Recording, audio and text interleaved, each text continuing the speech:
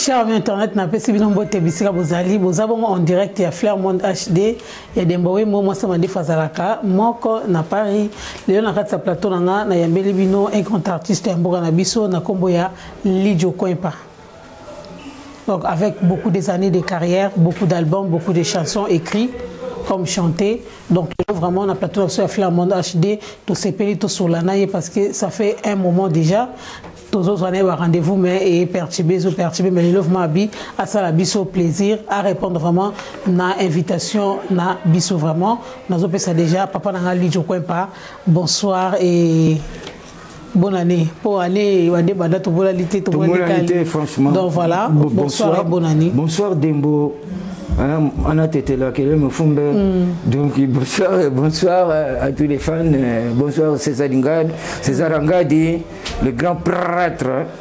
et d'une euh, image en okay. fait, bon. non problème te problème te baimage bakoma ebele euh. mais leader azalaka moko ah. king, king azalaka moko de toutes les façons moto hmm. mm. azalaka le premier azalaka ok tina le dernier merci beaucoup donc voilà mpona korapele bino baoyo nano basabona na chaîne na biso ya flairmonde hdt bosabone na flairmonde hdt bokende mwa kosabone parce que B'emission ya kafu kafu ezoya pour vous rappeler très bien que derrière notre caméra toza bongo na Edino Image le king de la presse congolaise charge ya, charge ya ba lion de la presse na pese ba mbote esika azali et sans oublier Willy Kunda hein mon amour na pese ba mbote esika ozali Lijo Kwepa ouais ouais ngai mwana bando na débit hein, parce que euh, eza première fois na yambo na plateau na ngai na photo bandama na débit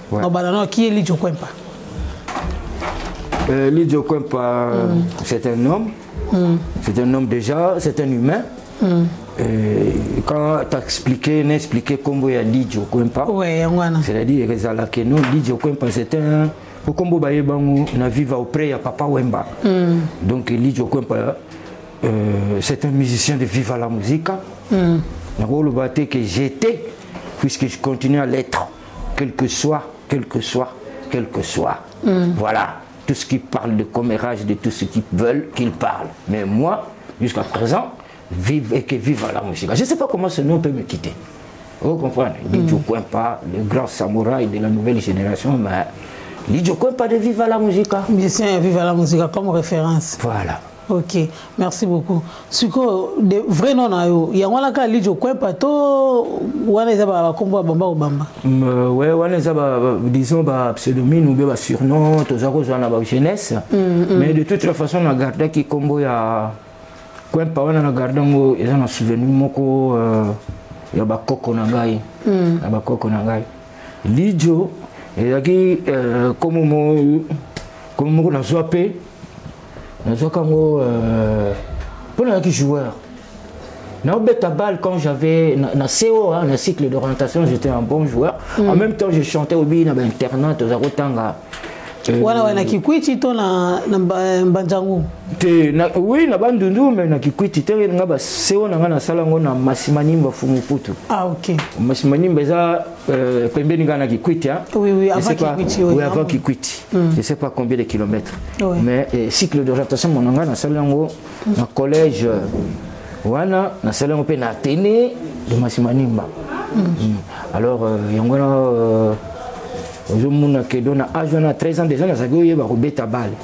mm. naobeta bale tro yango wana nazwaka nkombo ya lijo lijo tozalaki na joueur moko aobeta nkombo wana ezalaki cico mm. eh, abeta bale danse cico muco siko nkombo wana ezalaki cico muco siko ngai nakosepela na nkombo yango na moto yango ndenge akobeta bale akosepela mm, mm. alors lelo tokomi na tomati humanité na baekole na ekole par exemple toza na euh, baekipe ya ekole oui. hein, tobetaka bamatch interscolaire euh, tout ça e ngai nakobeta naki komo na ngai bakobenga ngai normalement donc euh, metro picho hmm. nde bakobenga ngai ndenge wana donc nakobeta bale ya danse nakobeta bale comme euh, vraiment bato bakumisa ngai to yango bapesa ngai nkombo ya metro hmm. eh, donc yango kombo ya lidio euta yango wana sikoyo kombo ya lidio euta na joueur wana que akufa sûrement que son âme repose en paix mm. chicho mucho donc euh, euh, joueur ya kikwit hein, en plus sikoyo neti musique bon nayebi kobanda oyimba na internat mais kokoma ouais. musicien obandaki obandaki makambo ya musique wapi kobanda mpena koyemba na podium mm. nabandi koyemba mpena na idiofa mm. na mboka baobe minako parce que ngai natanga kuna humanité nasala troisième scientifique kuna na tene ya ya idiofa mm. mais est-il que bapere na ngai baolinga te natanga loi na bango année elandaka mm. nalongwe kuna eh, naye euh, kotanga na kikwit sacré cœur mm. euh, na indobo mais franchement eza koleka nango toujours bien bonga nakeyebana na bato ebele kuna bon na idiofa kuna eh, na idiofa et puis après bon naye ko kozonga na kinshasa na kikwiti ozongi kikwiti natindi ngai na kikwiti eh, c'est-à-dire booriente ngai nalingai na ngai kuna te mm. sikoyo na double sikoyo nake eh, lere naye kozonga na kinshasa papa lobi il faut zonga kaka mm. tozalaki na grand frère na biso moko euh, azalaki euh, abe euh, ya bonaventure mm. ya bonaventure mafulu donc ye azalaki sango akomisi ngai na na indobo na troisième littéraire mm. nake kutana na godard motemona na matanda matiatus nake kutana na mama stebele soki bango nde bamaki na miziki ya podium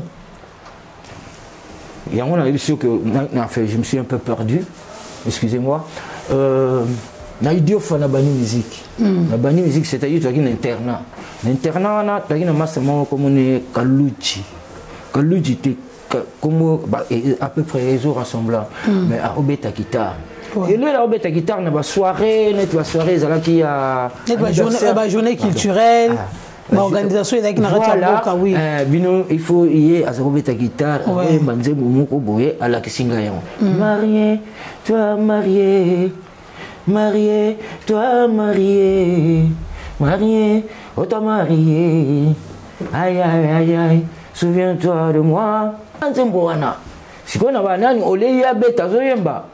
nga moto nakoma ye azobeta yango obetaka ya gitareabetaka eza neti kaka ngai nka moko chanteur ah. ye mpe gitare moko babafle mm, mm, mm. ebimi oyebi kaka genre internat eh, basango bazalaki kose debrouille pas mal eh, bagitare mpe ezoyokana mongongo mpe eyokani kaka bato baokamwa sikoyo balere wana oyemba na internet il faut ozala courage parce que basango bakotala ah moni aza bandi oyo aza ndenge nini okoprendre mm. bon ezalaki ndenge wana mais ngai vraiment naza kozala na bacomplexe wana te bato so bamoni nga na bala bakokamwa vraiment babanda kolanda nga na idiofa na idiofa nasali orchestre ecc ongole mm.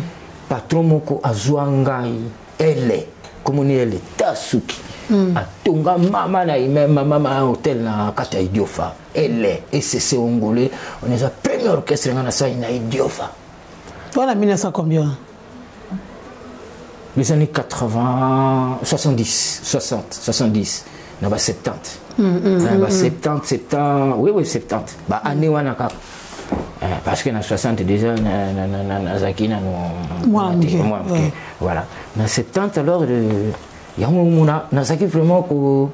koyemba chaque sikoyo basango mpe bakomi koaprecie nga mm. ah mais non c'est pas la peine soki sikoyo miziki tobanda obengaka pango pango il faut tobenga pango euh, ah na katulusi voilà ya yango komoni katulusi voilà dino dino mm. katulusi ye moto alakisanga mpenza comment chanter comment se tenir sur le podium mm. euh, comment chanter au micro katulusi s'il est vivant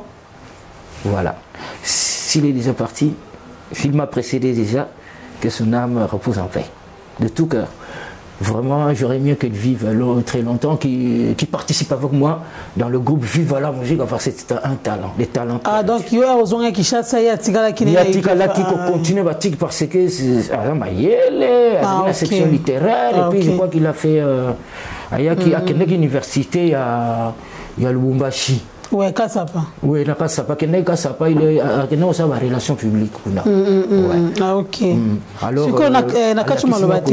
Oui. Ouais, na yeba première production nga eza na idiofa na lycée Lanquan. Mm, mm, eh, mm. ba momi ba bandi. Siko, okoma na viva la musique ndeni. On a viva, c'est-à-dire que euh, mm. euh, à partir internat nga na déjà na za na maîtrise wana. Mm. bon naolinga nanga kolobaka bahistoire na ngai te parce que omoni oya koloba boye o oh, ye aofinga o oh, aoloalikambo afinga te okopane oh, ngai naza babato na kola na bango na kamwaka ti lelo bango tosala bangoela carrière ekosala miziki na kini bakamwe oh, ye asali succès me motu tokoyemba na ye place moko ye azosala succès danse ngai mpe na ye nasali succès danse totalana boye ngai oh, on est venu ba moko ye na nsima na nga bana nga mm, mm, mm. ye aza na nsima trishaka heure moko soki kokoso mm. oyo comprendre mm. nga liboso na mono place toza wana mm. godard motemona kasi yango nalobi te nga nalingi nasala besoin nayeba mm. eza eloko babomba te moso tokoma histoire ya viva la musica papa yo babeta la vie belle yo ozalaki te asala film la vie belle lelo soki na bino na cdc na bite na porte garant nasala documentaire ya lidjo kwempa mm. soki obeteli nga masolo wana te ndenge nini okomi viva la musica sikoyo bana bakoya neti bana 2000 bana 2020 ti na 2040 boye bango ndeni il faut yo obetela nga lisolo obetela biso lisolo comme ça biso tokotransmettre message oui eza longue histoire je peux aussi euh,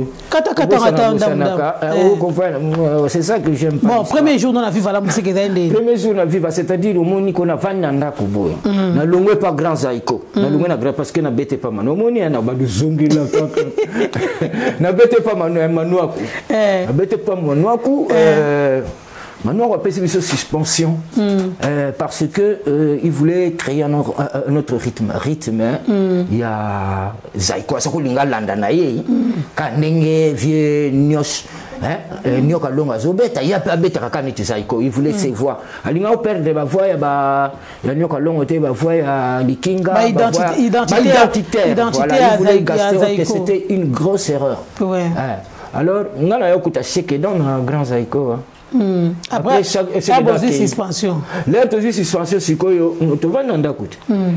vana ndako kaka boto kovanda kaka boye eh, eh, nayoki libanda kuna oh, vive epanzani wa bato bakowela bakota batala it parade yango hmm. oh, nga mpe nani nini eh, oh, vive oh, toye nakoti bakoloba l'orchestre viva la musica epanzani mpona boye euh, epanzani kutu te non bamusicien mpena balongwe bakei eh, groupe mpena nyonso ekei c'est mm. vrai mm. c'est vrai après je, après je crois na hit parade c'est nani manager moko alekaki mm. ake koloba nga mpe natimbi o oh, ya solo mpenza nalandeli mpenza nalandeli mpenza na moikomoliki eza ya solo eza ya solo otya motu benda hmm. na soir wana mpenza kaka ba naza na kati ya molokai naki na chance ya jour yango nauti na pale nakiti na taxi wana ndako wapi nalemba ah. nakiti na taxi naomata kandakanda na makolo oyo mm. taxi etiki nga na nini oyo na ya koko etiki nga wana na mati kaka na kandakanda kakaka nakoma naomona motu te je vois aucune euh, hein? omona kaka mwa mawa moko neti balabala ekauki mm. sikoyo naye mpe na porte na a 42 namoni porte eza kofungola mwa nalinga nabeta boye namoni porte eke yango ah, nga nakoti mpe kaka natala boye na payote hmm. mutu te hmm. ah, napusani hmm. omini ndako eza boye awa couleur oyo na pembeni vitre ezali elakisaka salon et tout ça siko nga naye boye naoleka na salon namoni vie na salon aobeta guitare naye naleki boye il faut ya bo oleki boye porte mm. eza nabeti kokoko c'est qui c'est moi entrez entrez napusi nakoti papa matalanga même 3 4 fois mm. ah, po ayebi nga déjà mm. ke ayoka basango ayebi mpe amona ngai ayebaka ayoka banungunungu ah, ne dis rien ne dis rien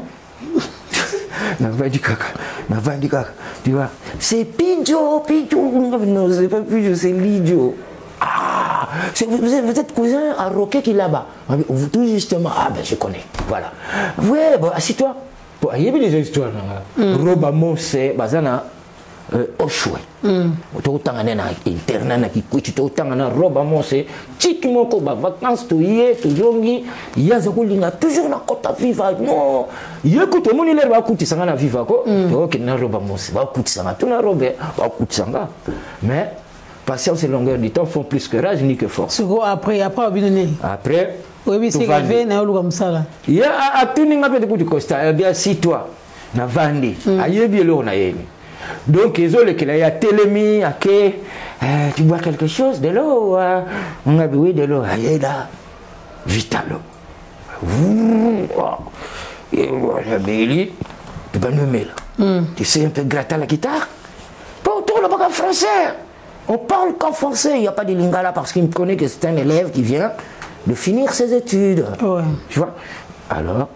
nazwi guitare nabe oui grate nazwi guitare ponemeli mandolina nayembeli ye banzembo na ngai hmm. nayembeli banzembo na ngai moko eh. Eh, nayembeli nabandi koyemba nabandaki na libonza betana nde oyemba yembana nde oyemba eti wana lelo babengi nga nasepelisa mondo ayembeli yango nkoko akabela nga libonza nalati butu mobimba elongi ya mwana yango esekeli ya sheri nkanda nyonso mpe kosila ngai inkimambu kado na ngai nsami ya libota merci beaucoup merci merci merci bakoma jaloux merci beaucoup lijo kwepa merci beaucoup nayebi ke yo olinga koyemba olinga kobina mais toza male male me garde na énergie donc voilà vraiment oyo eza vraiment ali joko mpe invité na nga lelo bomona bo comprendre ka ambiance ndenge ezalaka na bosani te nde bomona nga bana na vandi awa vraiment eza grâce ya nasi dumba la reine des rois basipere oyo bomona oyo eza nasi dumba na ferdi boucher euti vraimen direct ya roi ekomi vraimen tie pa dembo wemu donc voilà babote bisika bozali na ba merci beaucoup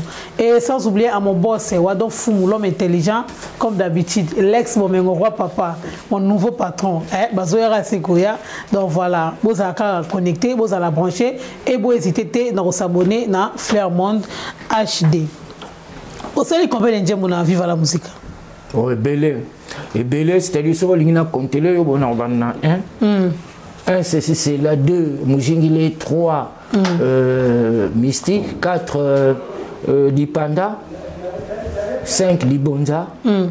7 eliana eliana iko 8 8 euh, attention nzembo moko nasanaki sasa 8 euh, balusiana bayemba yango na papa bango hmm. de okonzi euh. ya makambo yo osali ngai nakoki kobosana te wana bayemba ngo kaka bango de na papa nga mona koma me bango bayembi nga nayemba te mm, mm, mm, ah, donc eh, ozia eh, tolongwe na ozia wana eh, toye poto de toye poto nabandi le jour j yo ozokoma to ozoyemba nga nazokoma mpe nazoyemba ah, me bato misusu bakoma koyiba nga banzembo bakoma kozwa nga bayiba banzembo to mofarafara te yo moko opesa bango banzembo napesa bango na ndenge oyebi soki oza mopayoke epai ya moto oyebi ndenge ozala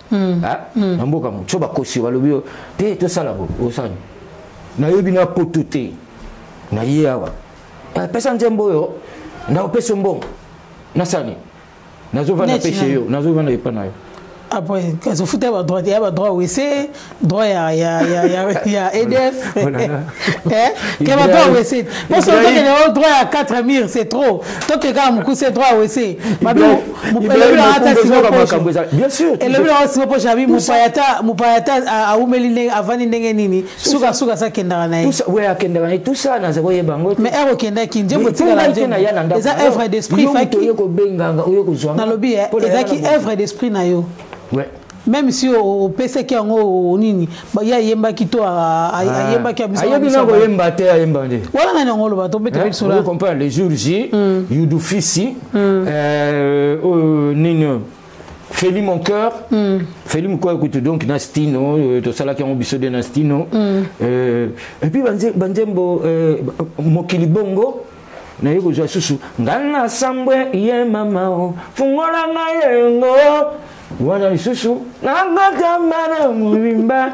naluli na nga dembo naluli na nga ye ezala ngadi euh, témoin kobanda kisasa il m'a vu comment j'ai commencé à, à vivre la musique hein. trop jeune à l'âge de 22 ans, je crois, hein, j'avais 22 ans, à peine que je venais de, terminer mes études euh, mm, mm, mm. humanitaires.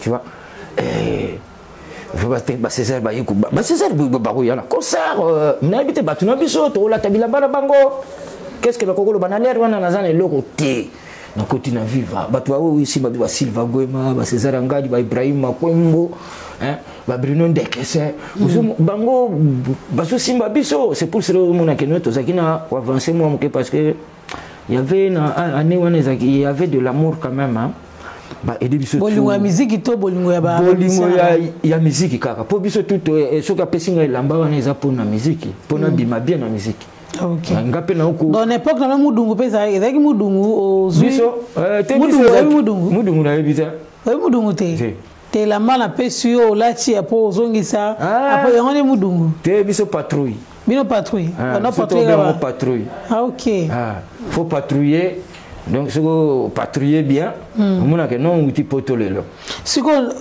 ndenge oya poto boye kotika no na poto libela oya poto ndenge nini we oyebi ke euh, lere nakomi wana poto sûrement euh, bon nakomaki mbala liboso ya lipoto toyaki na poto oyo ezalaki voyage boyaki par rapport ya concert ya papa eh, toyaki baconcert tourne euh, tourne d'europe ouais, world world toyaki papa aza ondima te ke tokosala tourne world mm. me ngai nao explike nga biko vie world elingi oloba mondial mondial abi hein oyo mondial c'est-à-dire tokokende baétats-unis eh, via oyo signe bacontrat bajapon ba ni japon kutu tosina contrat 10 ans via aboma contrat wana parce que eosere akoti affiche te omoni album wana ah, le jour ji wana mm. papa alingi oyemba yango te mpo euh, azalaki deja asinaki deja contrat na bajaponais donc azalaki bainterdisaki ye abetaka ayembaka na baalbum ya bato abeta lisusu miziki te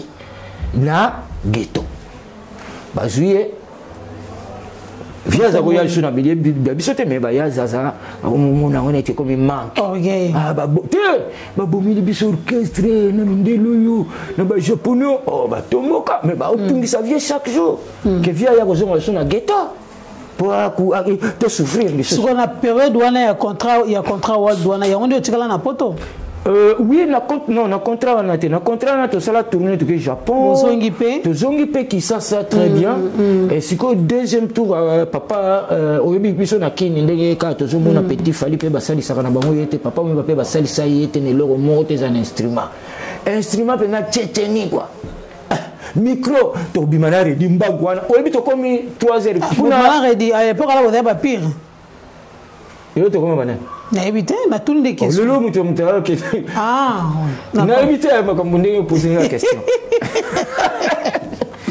bokeluka bamicro après te seleli so tokomi na omoni ko toye tobandi concert na 23 heures mm, so mm, tokomi mm.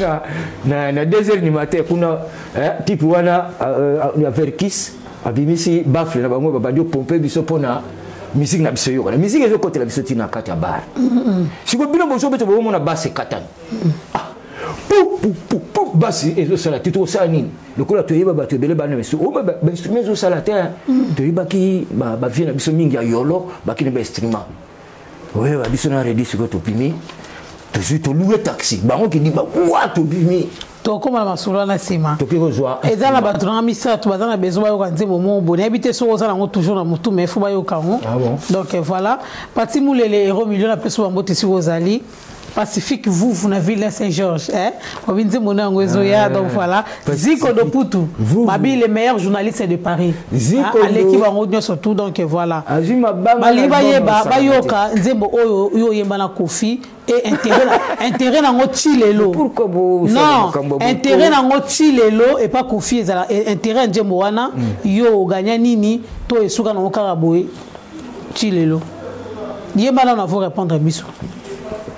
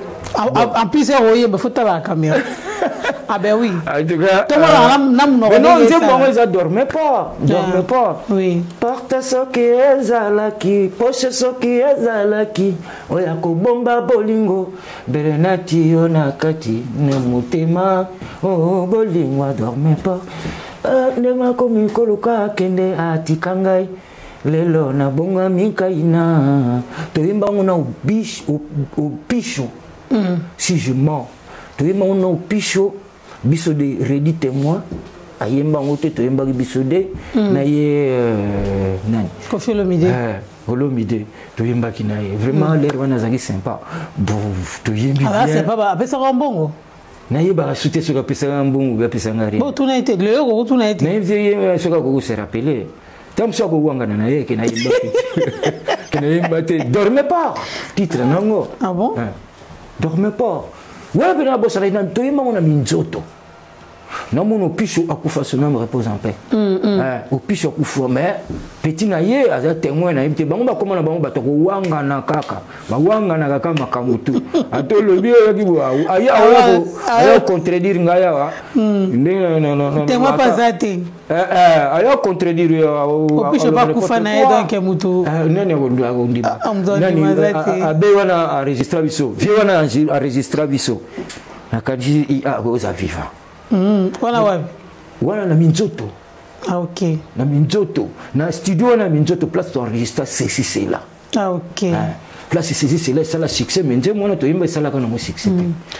lijo kwampa na carrière na tokobaka se kokoba na carrière musicale na yo ndenge obanda na ndenge miziki ezalaka à l'époque na ndenge miziki ekomi lelo na dimension tokomi okoloba nini na baetape nyonso tout vie ba age aussi bana bana mike babotami yo okoloba nini mm. évolution nini eza na kati ya miziki boye na kati ya miziki eh, ezo koevolue ndenge miziki evoluaka na ndenge na yango na bacourant nango na mobopepe na yango euh, voilà on peut pas comparer courant ya lobi na ya lelo ou bien na oyo ekoya lobi mm, mm, non pas mm. du tout ngai eloko ezosala ngai ka souci parce que petit oyo pourquoi na obenge petit a ah, excuse nga fali ah, azosala danse mais aucun disque d'or oh, même disque d'or na mopanzi bapesi te mais na congo vraiment bozaka même reconnaissant petit alembi hein. Ah, ah, ah, ah, mais non, de, depuis quand azo ko trimer Et puis, tu au monde, lobi bokomi motuna ye asila lelo bopesa nini trofata trophée congo ministre ya culture akoluka te lomo boye apesa peti wana parce que vraiment lelo oyebi nazalaki mwa discret mais nabimi nabimi parce que naomona keno azosala biso mwa honneur Mm. awa na potu quand même hein mm, asala biso aza na pointe quand même malgré ba mm, gims ba likolo na ye mais le le euh, l'artiste il se bat comme un artiste hein. c'est-à-dire il a la musique il aime la musique c'est ça quoi sikoyo na kati récompense ye déjà nabi ndenge bapesanga trophée ya nabi mawa wana oyo bapesa trophée sisisila ezalaki à l'époque nabi mawa wana euti wapi yango envers, euh, envers fali pupa apartir motu moko ayebisa ngai alobi yo kutu osala ceci cela hit parade 5 ans na hit parade na bamozingili ozwa nini anayotaleka yango oh, olinga nazwa nini bapesi ngai trophée bajaponais nake na japon lisusu bapesi ngai su trophée hmm. na la voix de l'amérique donc bakotana nani nakende te batrophée na ngai eza kuna na nani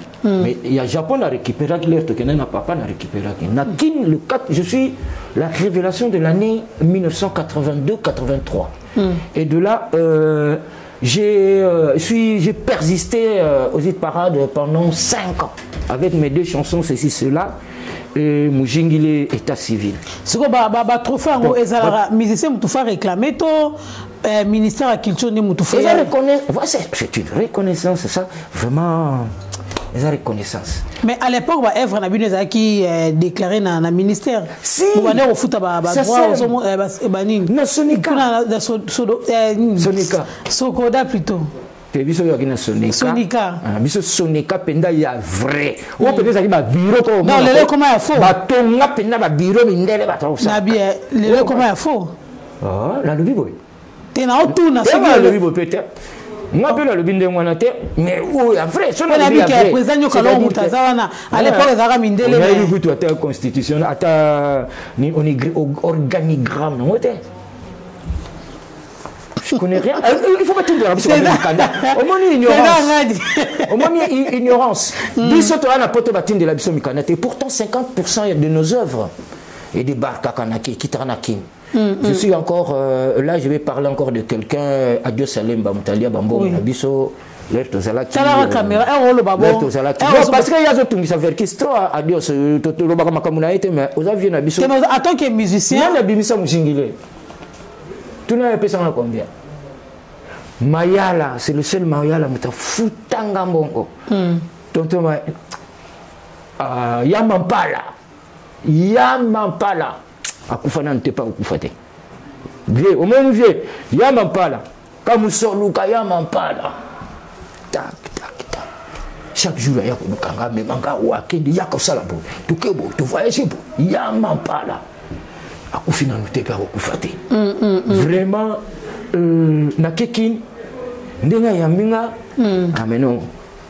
mais non ozo comprendre ya makala c'est ça euh... nga nalaka ingra te moi je suis trop donc yango wana sikoyo wana eza sikoyo message message il faut opesa opesa message il faut opesa bavie wana par rapport à par rapport à fali ah oui napesi bango bayoki te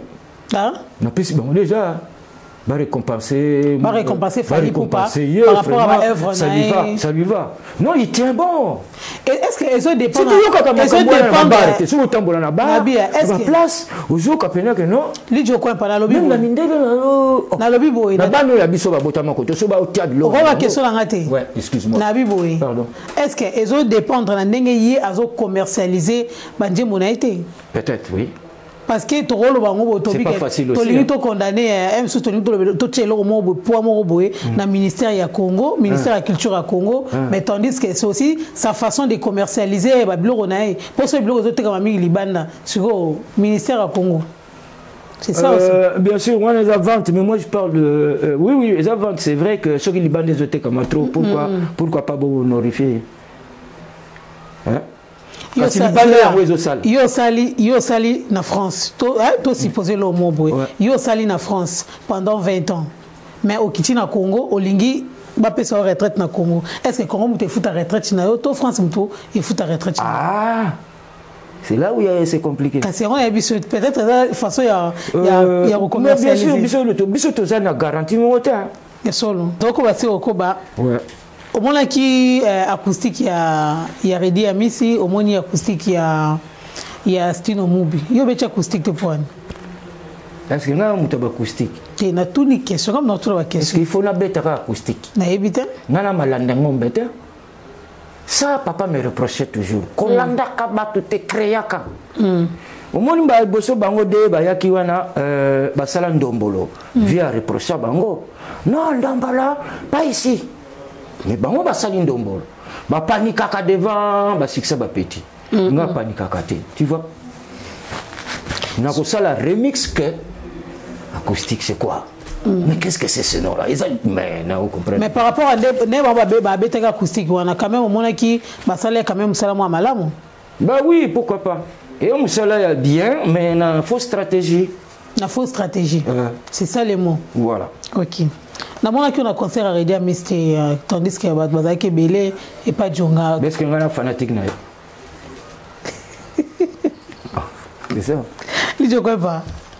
okatika seki boye ndeni na melata soyi kesolaka na melata soyi te mais Reddy Reddy aza viva la musique papa Wemba te ya viva la musique te aza aza aza ndeko na ya viva la musique ye ye alongwa no traco o comprendre na longola ye ye moko alongwa 17 ans kende vers sa succès te mais akenda na ye biso alingaka biso te viva solo makambo viva ça existe pas viva papa wemba kufa viva ezalaka lisusu te bizarre quoi même na, na matanga ya, ya fafa de molukai ah. na matanga wana ridière amati nazomona bino bozoluka nzela kokima ondire bomonaki lion moko akotaki moto na moto azoluka nzela na ye eh, te nga jour yango mpe Eh, ozalaki oui nazalaki komela na kende oluka guitare basse nayaki na retard eh oui sérieux guitare basse ezalaki wana oyembi okiti oyembaki abomoni kaka redi akoti mama ko piu stino na gauche yo na droite tout la musi ya zaza stino mpo ngai aya na retard mpenza naya na retard tuna ya zaza nga kutu image ebunga labi ah oyo babiloko balijo kwempa te obabungisi image na ngai naya na retard omoni naye ya retard eh, ya sasasa témoin nakenda kozwa kitare pa boss toza boss petit collégien leo touti mm. cimetière mm. leo touti église toleki pa boss tozwi kitare bas toye nakuta redi wana te balobi oyo redi azalaki awa kutu na joli modi alabatikeli kamdo eh. micro ye moko podium ye mokoayepaola te eh, eh, nzembo moko ozosanti paola aza mwana mwasi mais heure yaba akotaka vivabageria viva bazalaki wana yebi keayembaka na bapaola wana ayembaka na bino te na biso ayembaka te depuis akoma komimona ayembaka na biso esu te komimona esu ndeni oh. bona aloba nini ayembaka na biso biso toyembana stine toyembana na gloria hmm. toyembanaka na luciano tokutanaka nayebi te mpo avanda na afrique bon peut-être ben, euh, franchement biso awa tosikotoyaka biso awa quand il vient de l'afrique eh, oh, eh, eh, il faut nayebi te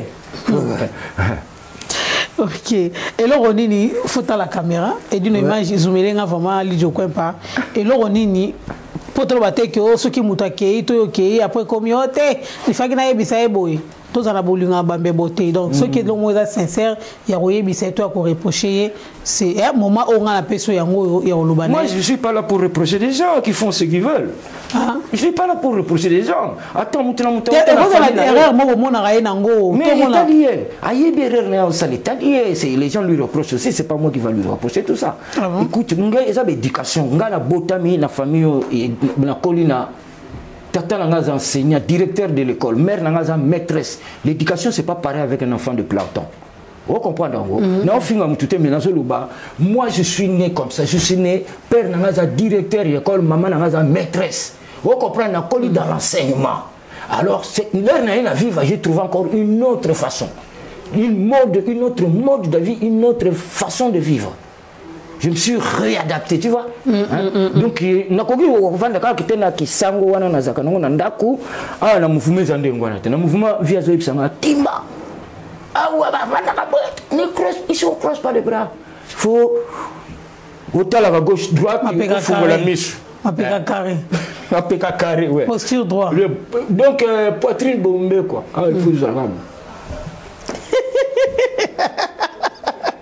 merci beaucoup merci merci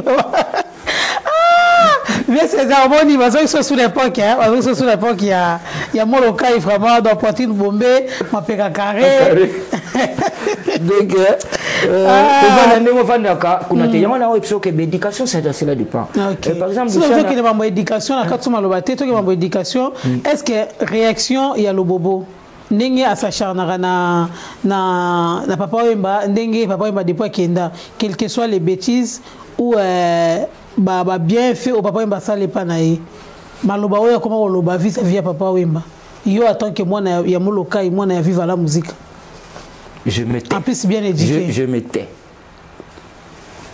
Hein Et je me tais, je parle pas, je connais pas, et puis attends, c'est tout. Je me tais. lijo kwepa eh, babi nzungu avive etika na maboko na yo okende boye lijo kwepa dembo hmm? parce que abi défense wana niveau défendaka viva la musica na molokai ah, du jamais vu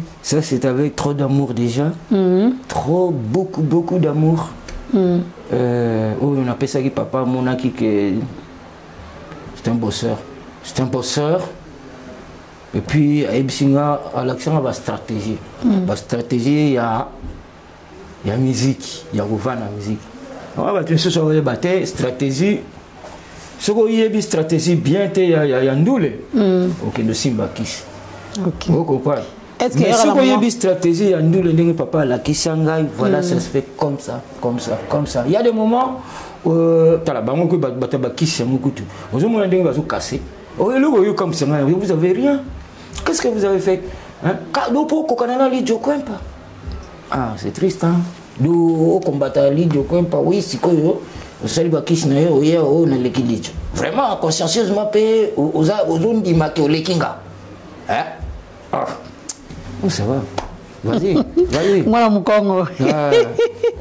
muyaka ya solo ah. eh, o oh, muyaka na muyaka ko hmm. ah ouais na muyaka mère na nga musuku est ce que arrive avant na temps ovandi ma bobia papa yemba me manque ouais na moment nini beaucoup beaucoup beaucoup na moment nini tout moment oui chaque jour c'est incroyable c'est incroyable mais c'est pas euh, c'est immanquable donc eza na jour te oyo nakovanda donc soki ngai natangi nkombo papa oyo ba te bato baotanga nkombo papa ou encore na ndako natie kaka internet kaka ya pamba directement papa oyo bafo namona ye comme est ce que nakozanga ye comme est ce que na mais non pas du tout mm. donc euh, vraiment euh, naza trop attristé de fois mm. ouais.